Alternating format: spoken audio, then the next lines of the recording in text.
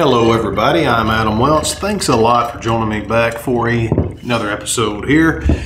This is a video I've been wanting to do for quite a long time and seeing how I know a lot of you guys are stuck at home due to this shit show known as coronavirus, I thought it was a perfect time to go ahead and get this done. So today we're going to be doing something I've never done before and I wanted to bring you along with me. We are going to be developing our own color positive film, our own slide film using the Arista E6 home development kit. This is the one core kit.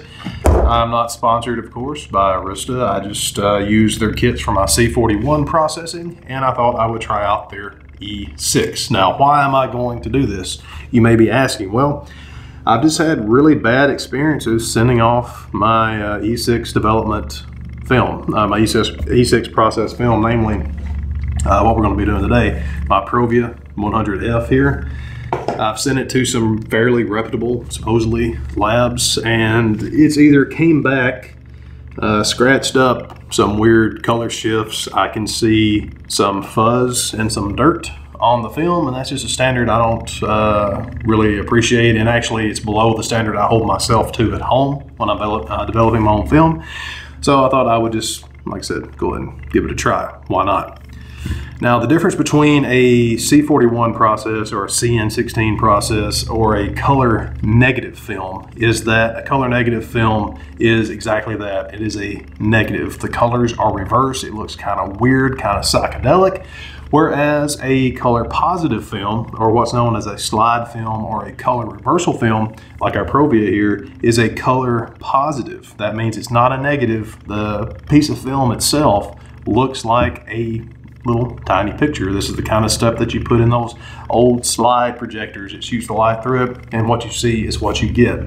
Now, E6 development is a little bit intimidating for uh, some home processing, namely because it is very temperature dependent. It can it's not as forgiving as C41 processing can be, and C41 is not as forgiving as black and white processing can be. But I guarantee you, if you've ever developed your own film at home, whether it's black and white, and especially C41, you can do E6 development. I have never done E6 at home. That's why, again, I wanted to take you along with me on this experience to show you either how hard it is or how easy it is, and I'm hoping it's going to be the latter. Okay, so that's enough talking this up. Let's go ahead and mix up our chemicals so we can get to development. I'm going to open up the box here. And if you've done any kind of development with C41, especially the C41 Arista kit, you'll know that you have quite a few chemicals, and this is the liquid form of the chemical. They do make it in a powder. Now, the only difference between C41 processing, uh, namely with the C41 Arista kit and the E6 Arista kit, is that you have the addition of one more chemical with C41 processing, you have a developer, a Blix, and something called a stabilizer. With E6 development, or I think it's also called CR56 development, uh, at least with this particular kit, yours may vary. Um, I'm, so I'm using the Arista. You'll have a first developer, which is more or less a black and white developer. Then you have something called a color developer, which this will essentially chemically reverse the image on your film. You can do this actually by exposing the film to light after the first developer, but just for the sake of simplicity, the uh, thank God the Arista kit uses this um, color developer, which is going to do all that for us inside the tank. Lastly, in the E6 kit, you're going to have your Blix. This is the same kind of Blix or bleach fix that you find in a lot of C41 processing kits. A bleach fix is uh, really a two-part chemical in one solution. Some kits will have a bleach and then a fixer as separate solutions, but this one is going to be all in one. It makes it a lot easier. Now there's some contestation between uh, whether or not you should use a two-part bleach and fix or whether or not Blix is fine. I've always used a single Blix solution that comes in the kit, never had any trouble, but it is what it is. I don't think you'll have any trouble using the single Blix solution. Okay, so this is all of our chemicals that we're going to mix up here. Normally, and I know this is, uh, I'm probably going to catch a lot of flack for this, I usually don't use distilled water when I'm mixing my chemicals. I usually do a distilled water bath at the very end. The last rinse, I put in some distilled water and some photo flow, Kodak photo, uh, photo flow, just to help with those hard water spots since I'm using the tap water. But uh, here, I am going to use distilled water simply because uh, this E6 kit does not use a stabilizer like C41 does at the end. That's usually what I mix with distilled water. So I'm going to, uh, I've got this cheap little jug of distilled water and I'm going to mix up these chemicals, let them set for, I don't know, probably let them set overnight. The only reason I'm doing that is because if you use some powdered chemicals, you need to mix, them, uh, mix them at a higher temperature, let them sell, uh, settle out. But since we're using the liquid, I'm going to mix them at room temperature, whatever the ambient temp temperature is, but I am going to let them set for a while just to mellow out. And then tomorrow, which will be a couple seconds for you guys, but about 12 hours for me, we're going to heat all these up, and then that's when we're going to do our development. Anyway, let's go ahead and mix these suckers up here. So to do that, I've got our little accordion bottle here. I highly recommend these because they let you squish out as much oxygen as you can after you have the chemical in the bottle, and that's really going to extend your chemistry life considerably. Now, I would normally recommend uh, at least some gloves here, but this is the real world. I'm not telling you not to wear gloves.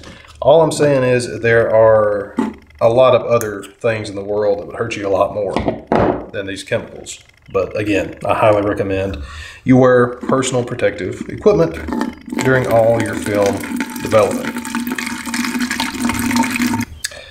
Next, I'm going to add in 708 milliliters of good 99 cents a gallon Kroger distilled water.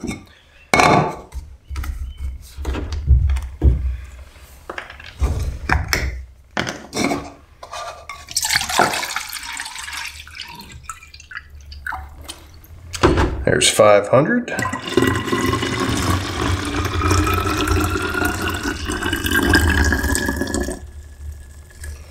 And 208 roughly.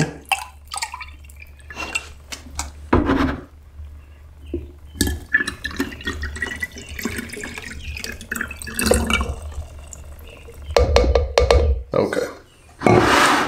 So that, give it a good shake.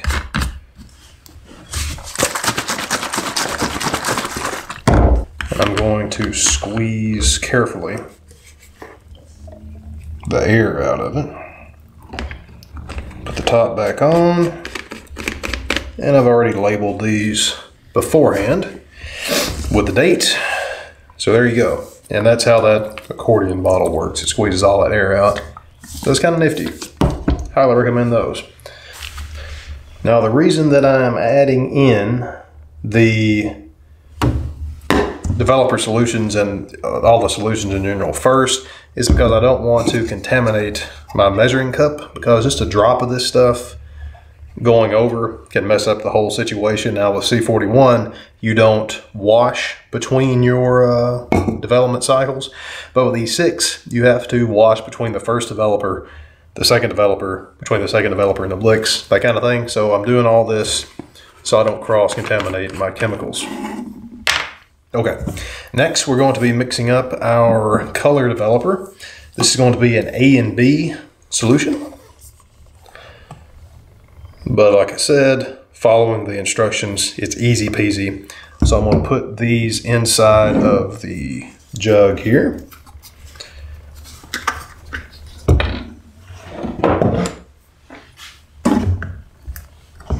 Again, it doesn't hurt to wear some PPE, some personal protective equipment, gloves, goggles, all that good stuff. I am not.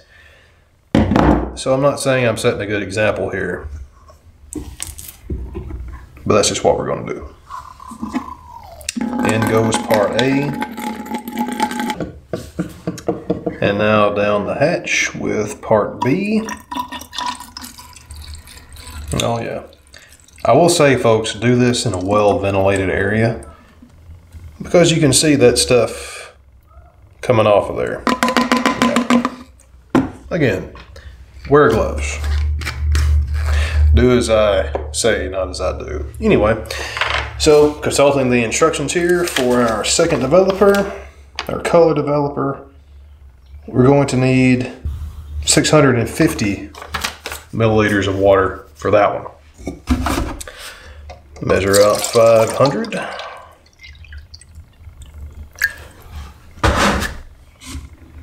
In we go.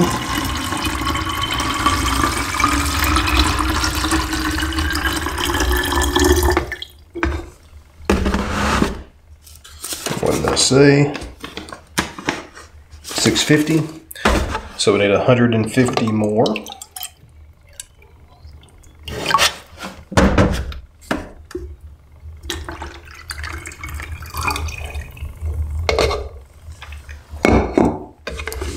Top on. Make sure it's really, really, really on. Give that a shake.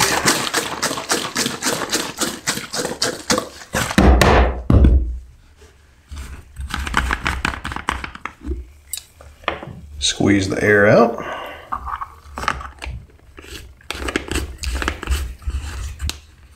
Top back on. And there is our color developer. Lastly, we're going to mix up our Blix, our bleach fix. This one is a three-parter, an A, a B, and a C. So we're going to get this started up. Be very careful with your Blix. Uh, of course, be very careful with all this stuff, but be careful with your Blix because Blix will stain your clothes in a heartbeat. It's very, it looks just like iodine and it stains just the same. So in goes the first part.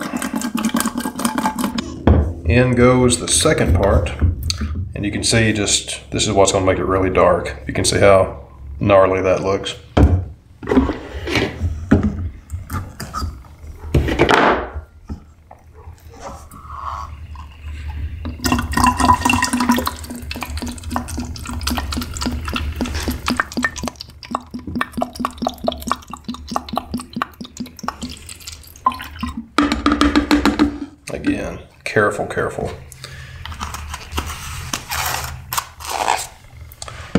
And here comes part C, our third part.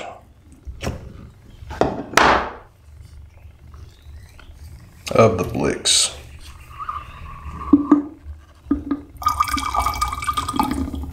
Okay.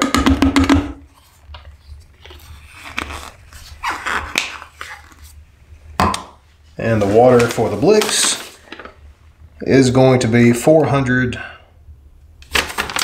414 milliliters. So let's go 400. This is going to be a laughably guesstimated 414.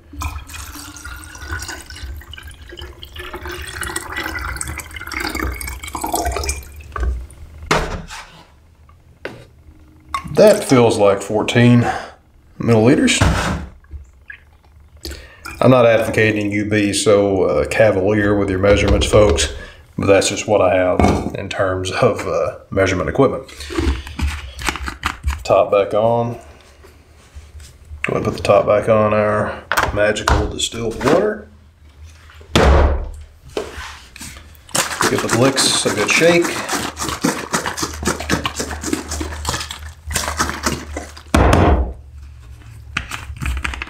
And of course, squeeze the air out. Now that Blix is nice and happy.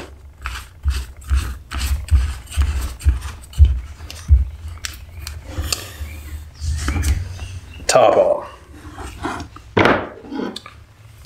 So, now for our E6 color reversal film processing, we have our first developer mixed. We have our second developer mixed. Squeeze some more air out of them. And we have our Blix. So, uh, if you're familiar with C41 color negative processing, you'll notice that this is one more chemical than you would be using with your C41. So it shouldn't be that big of a deal. Like I said, I'm gonna let all this stuff mellow out overnight, come back tomorrow, and we're going to be loading up. I have so much, so much Provia 4x5 uh, to develop. Anyway, I don't even know what's on it, but we're gonna load up six sheets of Provia into the Paterson tank here. Now, if you're not familiar with some of this stuff, I go over literally everything in that Dirtbag Darkroom video series. This is my 4x5, like I said, uh, Paterson Super System, I think 54. Anyway, this is what I use to develop my 4x5. Um, it won't necessarily be a tutorial on all the stuff involved with developing your own film at home. If you want to see that, let me know. I don't want to tell you stuff that you already know, but it will at least be a documentation of my first time developing E6 process at home. So uh, yeah, I'm gonna go load all this up. By the time that you see me again, we're gonna be ready to pour all this junk into that tank.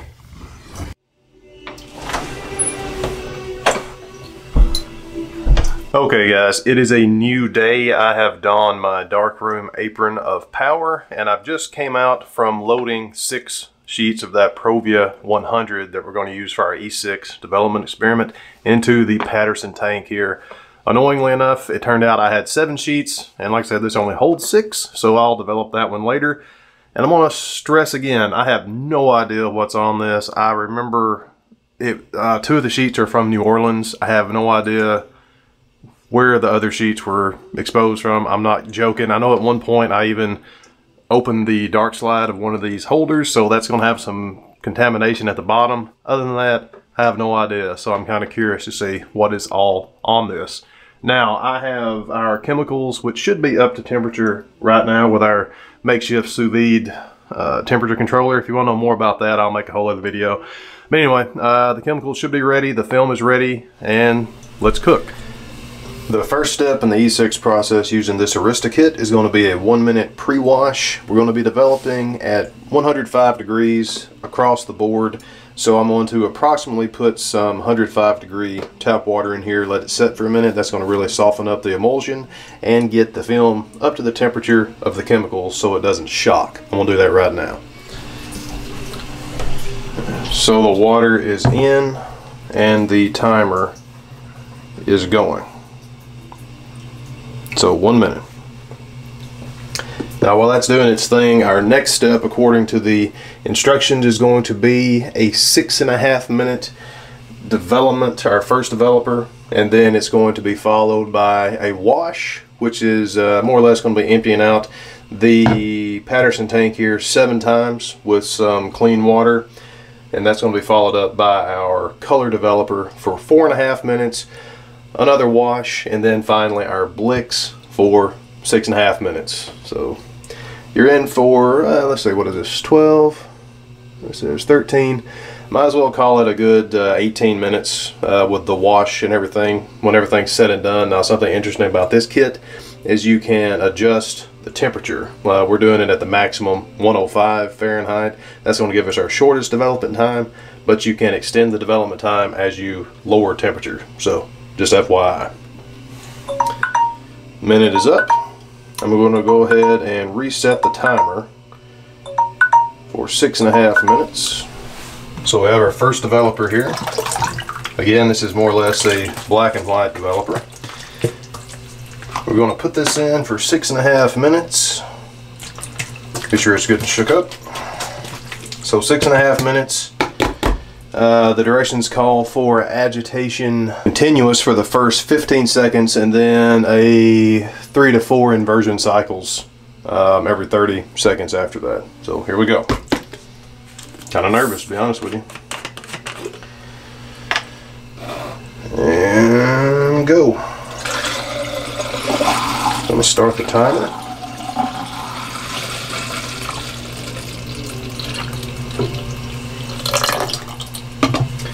Chemicals are in. Top is on. And we're going to do this for 15 seconds.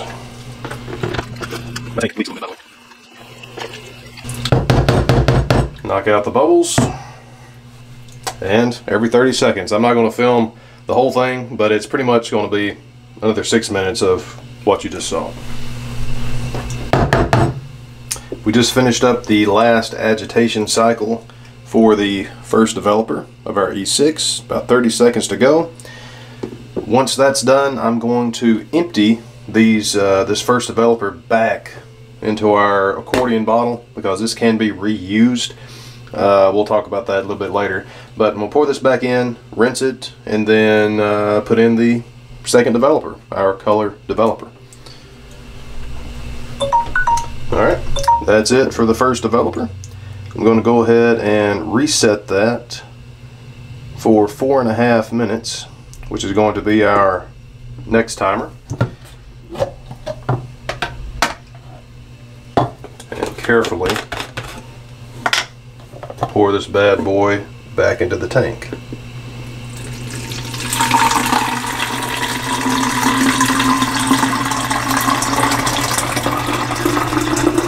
Yes, I do have a funnel. No, I hardly ever use it.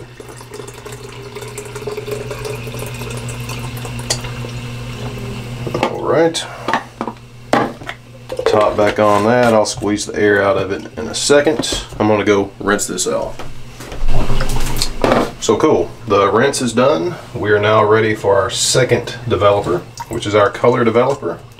Make sure it's good and shaken up.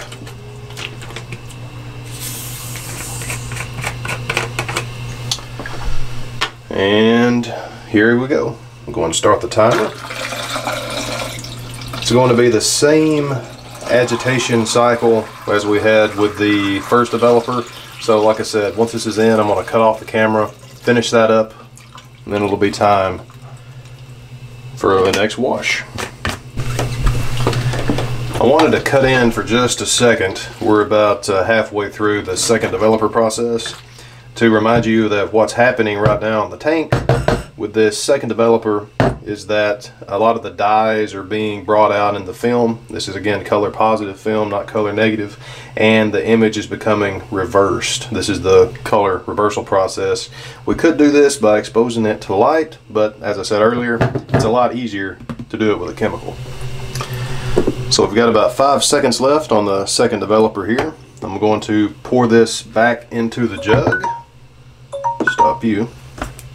So back into the jug with our color developer, our second developer. Again, careful, careful.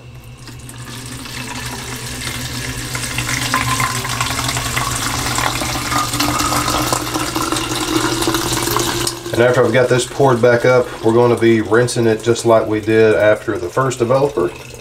And then it'll be time to add in our Blix.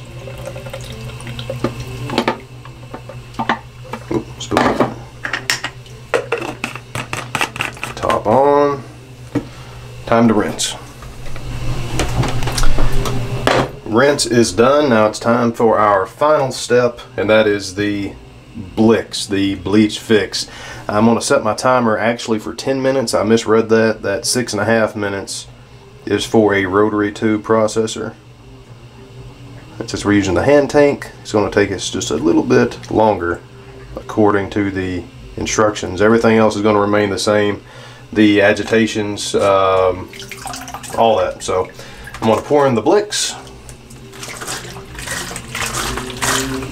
Let it go for about 10 minutes and then uh, we'll rinse it off and we'll see what we've got. So in they go. Yeah, that gnarly, man. Timer is started.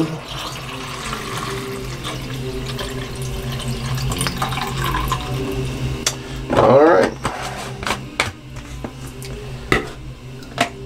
See you in 10 minutes.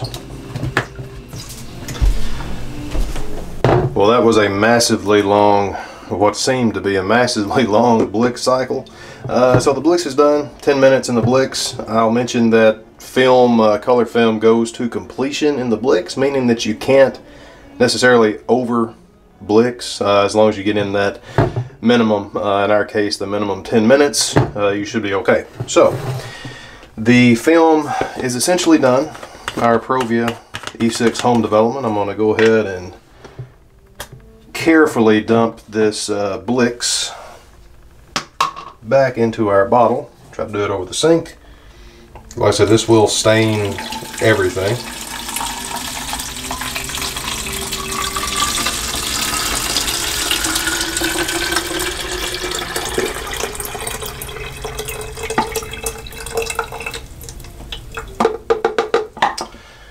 All right, let's uh, rinse that. The instructions say for about five minutes.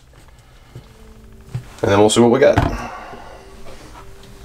Okay, ladies and gentlemen, I swear to you, I have not looked at these yet, so we're going to do this together. I've just finished up that five minute final wash. I'm going to check out these, uh, these sheets of film of Provia 100, and if they're good, if we had some development, I'm going to put in some distilled water and some photo flow and then hang them up to dry. So, uh, yeah, keep your fingers and toes crossed. Here we go. And that's probably going to be a no. Or is it? I don't know. I can't see.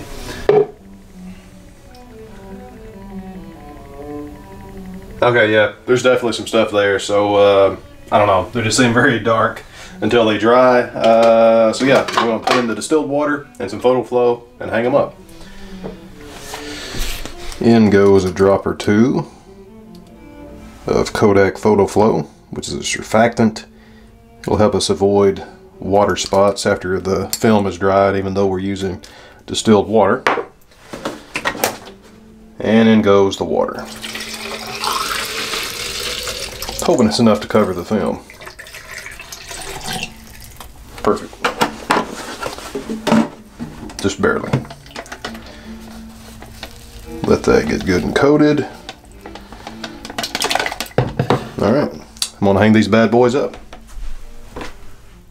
Okay, so the film has dried and cleared. I went ahead, I couldn't help myself, I went ahead and uh, developed that seventh piece of film that I told you that wouldn't fit in the canister on that first run. So we have seven sheets of film and out of those seven sheets of 4x5, we have three that I am very pleased at, at least before we scan them here. Those three came out, there's images on there, they look great. Now the other four, one of them is uh, completely out of focus and the other three, I don't think that they were actually ever exposed. I think that's user error on my part. Uh, I've been teaching myself how to use a uh, 4x5 Graflex speed graphic more proficiently and I was using the shutter plane, uh, the focal plane uh, shutter, excuse me, and you have to have the front shutter open and I just don't think that I had it open. So we'll consider those burner frames. You know, it's a learning experience. Why not? So let's uh, get down to business. I've got the scanner out here in the uh, soon-to-be new studio. Uh, I'm to scan those up and let's see what we got.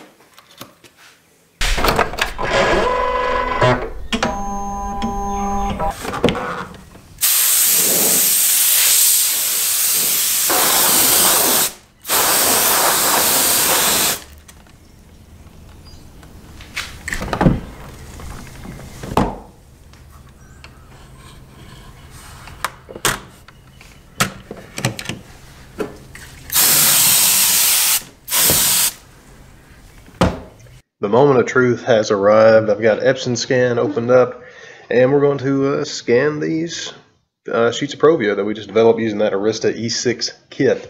As always, I'm using my trusty V700 Epson scanner. I'm going to set the document type to film with holder, color positive film or just positive film, and we're going to hit the preview button. And the scanner is going to take a second to warm up, so I'll fast forward through all that. Well, would you look at that?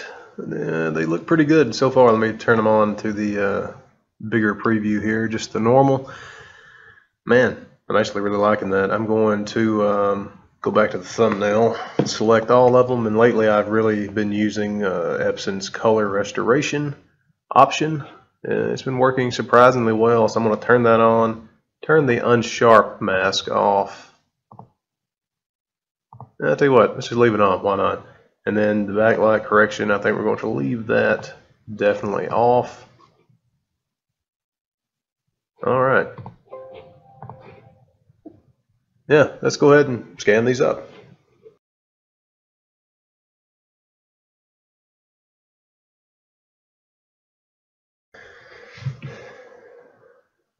All right, sweet. So I've got these two sheets of Provia scanned and I've brought them into Lightroom Classic. First time I've looked at this, guys, so we're all in this together. Looks pretty good. This was a very overcast day down in New Orleans. I do remember that. This was ooh, Lafayette Cemetery number two, I think. That's pretty much how it was, yeah. So yeah, let's zoom in. Uh, let's go one to one. Come on, Lightroom. There we go. Little shaky. All of these were shot handheld with my Graflex Speed Graphic, by the way. But overall, as far as color goes, a little shaky there. Looks pretty good. I don't see any kind of weird spotting or anything per se. No weird color shifts. Let's look at these. Uh, again, it's pretty blurry. These are Mardi Gras beads hung up on a fence outside of a house. Like I said, definitely not my best work, but uh, these are more or less an experiment to test out this E6 developer. I have to say it looks pretty good. So that's some fuzz in there. Alright. Overall, I think that's actually pretty cool, pretty cool color. So, so my illustrious photography friend, I hear you saying, how much did it cost to develop this film at home? I took the liberty of going on the old internets here and looking up quite a few mail-in film processing services that actually do E6 developing. Not all of them do 4x5, so I'm more or less going to give you an average cost if I were to send my 4x5 sheets off to another processing lab like I have in the past versus the E6 developing kit here at home. Like I said, I looked up five mail-in processing places. Uh, I looked up Dwayne's out in Kansas, the Darkroom Lab, the uh, B&H photo mailer. You can buy a envelope that you have sent to, uh, actually it sends to Dwayne's in Kansas to be um, process your E6. And uh, see, Process Photo was another place, and Boutique Film Lab was another place. I'm not going to tell you the exact prices of these places out of respect for their businesses, but on average, uh, only three of those places did 4x5.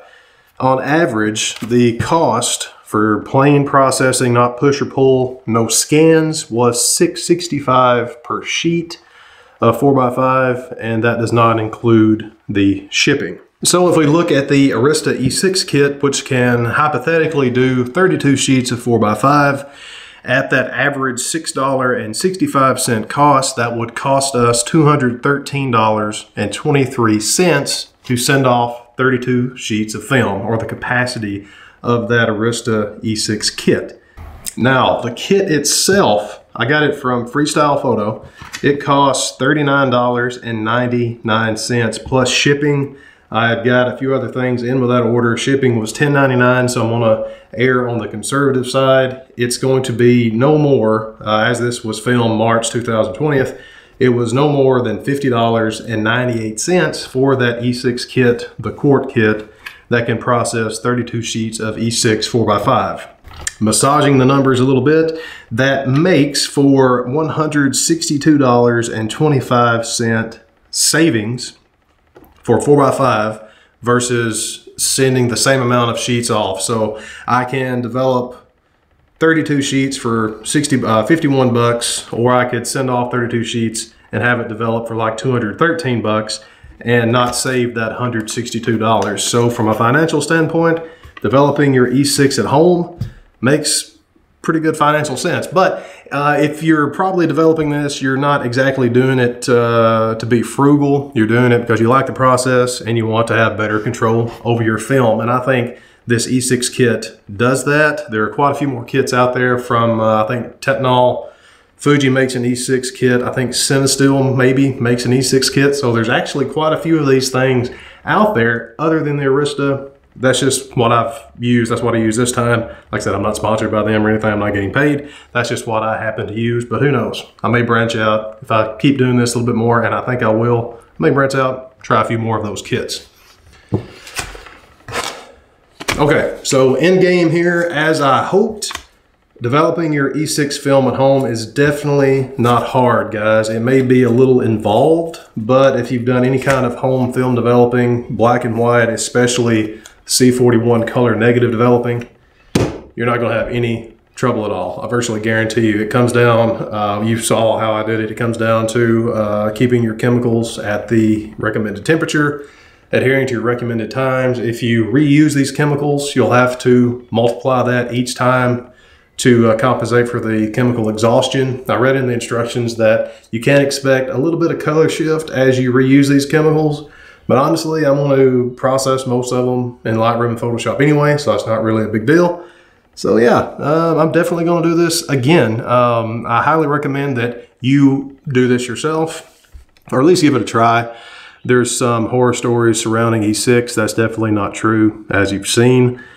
But uh, yeah, it's definitely something you should look into if you have any interest in extending your developmental horizons as far as your own photography is concerned. Thanks a lot for joining me, everybody, on my first experience developing E6 process film here at home. It's extremely easy, definitely something you can do yourself. But as always, if you have any questions, comments about anything in the video, you know where to put them, down there in the bottom.